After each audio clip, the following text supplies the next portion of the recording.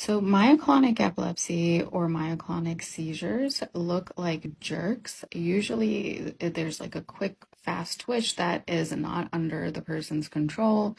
Usually, this is diagnosed early in life. It's diagnosed um, in childhood, generally. That's when we see it happen.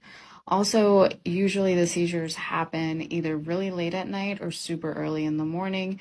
The jerks can make you drop things. Um, things like when you're brushing your teeth, you might drop your toothbrush. If you're brushing your hair, you might drop that. Um, if you're drinking coffee, you might drop that.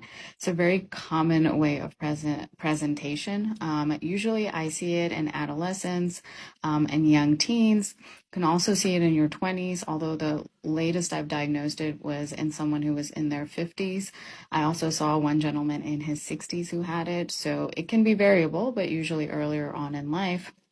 Diagnosis is with an EEG to confirm, um, and the treatment is with seizure medications.